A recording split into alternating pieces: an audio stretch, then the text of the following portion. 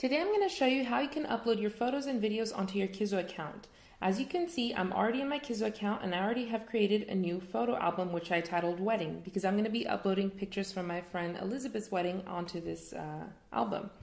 So you'll see right away that there's a large green button in the center that you can use to upload your photos and videos or you'll always have this second button up here that also lets you upload your photos and videos. So I'm going to go ahead and click on this large green one and right away, you'll see that you'll have the option to either choose the photos and videos from your computer, or you can just easily retrieve all the photos and videos from your Facebook account onto your Kizoa account. I'm going to go ahead and choose the My Computer option, and I already am open to my photos.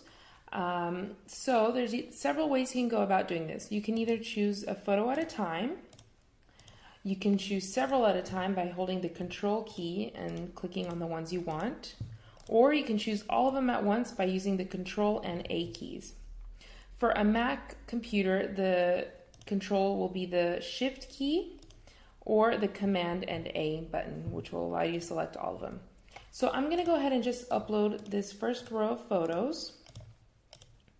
There we go. And I'm going to go ahead and click on the open button down here and as you can see, I now have a new window that shows me the progress of upload for each of the photos.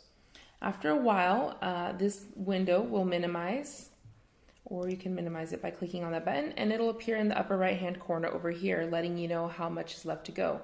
Uh, this is pretty useful because that means you can go and back to your Kizoa account and continue working on something, and you don't necessarily have to wait for all the photos to upload before you can uh, move along with your uh, creation. So the photos are almost done uploading. Only a few more seconds to go, and there we go. Now that they're done uploading, I'm given the option to either make a slideshow with them, I can make a collage, or I can continue adding more photos and videos. So that's it. It's pretty easy. I'll see you on the next tutorial.